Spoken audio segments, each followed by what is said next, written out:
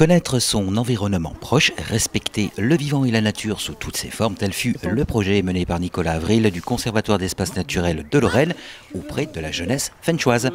En effet, fut organisée une sortie pédagogique de la classe de Madame Rachiel, professeure à l'école du centre de Fantois, sur les pelouses calcaires situées derrière la mairie.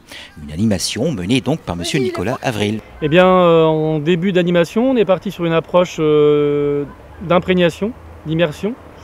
Euh, où je demandais aux enfants euh, d'essayer un petit peu de, euh, de se nourrir un petit peu de tout ce qu'ils voyaient et de tout ce qu'ils pouvaient percevoir. alors donc les ambiances, les couleurs, etc. Donc là, ben, les plateaux, ben, on a essentiellement des cultures, un petit peu de forêt. Et le côté qui reçoit le plus de, soleil, qui est le plus inondé de soleil, et ben, ces coteaux-là, systématiquement, ben, on aura des, pelouses. Hein ou bien d'anciennes Après une explication géologique sur la formation même d'un plateau calcaire, cette journée découverte et sensibilisation à la nature fut articulée en plusieurs ateliers, dont un attrait au développement des sens, des odeurs, des couleurs, des bruits de la nature, mais également au sens du beau que la nature dégage. Oui, il y avait la hein. notion de, euh, de beauté, en fait, et qui, ne, qui, euh, qui est propre à chacun. Et c'est sur des temps en fait où les enfants sont seuls, qu'ils peuvent apprécier euh, le beau. L'après-midi fut dédié à la connaissance de la faune et de la flore en différents ateliers. On ne peut plus Non, alors ça, on ne peut pas le compter. Euh, nous nous sommes intéressés aux insectes, aux petites bêtes qui sautent. Euh, il y a de nombreuses sortes de sauterelles, criquets, grillons, qui habitent ces terres chaudes, donc des pelouses calcaires. Nous avons euh, découvert quelques espèces. Euh, parmi celles-ci, la, la, decticelle bicolore. La pimprenelle, la patte d'ours, l'origan. En seconde partie, on s'intéressait sur, les, sur les, plantes particulières de cette terre chaude. Euh, notamment le boucage, saxifrage, une des espèces peut-être les plus représentatives de ce type de milieu. et puis bien d'autres espèces sous une forme ludique.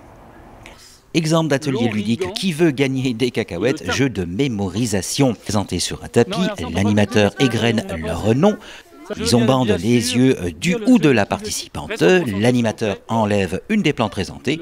Le participant parviendra-t-il à trouver la plante enlevée Maëlys, ici. Euh, la pâte d'ours. La pâte d'ours Ah C'est peut-être ça ou peut-être pas ça. Est-ce que ceci sera votre dernier mot? Ma chère Maïs. C'est la pâte d'ours. Donc c'est cerise, donc c'est votre dernier mot. Ouais. On dit oui mon cher Jean-Pierre. Attention Le suspense est à son comble, roulement de tambour, nous jouons pour la modique somme, je le rappelle, aux candidats, aux téléspectateurs, de 100 cacahuètes. Attention Verdict Est-ce bien la pâte d'ours ou bien la pâte d'un autre animal? La pâte d'ours Oui, la pâte d'ours Sensibiliser les enfants à leur environnement de proximité fut donc le but recherché, et ce tout en poésie. C'est important pour nous, euh, en tant qu'association, euh, que euh, de pouvoir sensibiliser les enfants à leur environnement de proximité.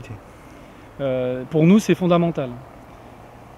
pour qu'ils puissent prendre conscience de la valeur de ces milieux naturels. Ah, Alors attention. Bah, pour l'instant, on ne sait pas ce que c'est, mais on sait que c'est caillouteux. Alors, euh, s'il vous plaît, le, mince, la bouteille d'acide, c'est de la bouteille d'acide. Donc il n'y a que moi qui vais le faire, l'acide chlorhydrique. Hein. l'acide. Parce que si justement, Romain, c'est du calcaire, cette sorte de caillou, il doit se passer quelque chose. Hein. Ah, qu'est-ce qui se passe C'est du calcaire, c'est du calcaire. Il y a une réaction, si ça mousse comme ça, c'est que là, ça gagne beaucoup de calcaire. C'est qu'en fin de compte, ça se trouve, c'est que du calcaire. Même, hein. Espérant bien sûr que le but fut atteint et que cette sensibilisation restera ancrée en l'esprit de nos citoyens en devenir.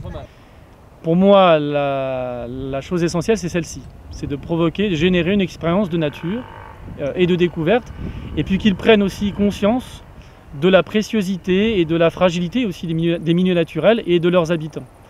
Donc pour moi, c'est très, très important aussi euh, qu'ils soient précautionneux quant à la manipulation et l'observation de ce qui les entoure. Voilà. Mais oui,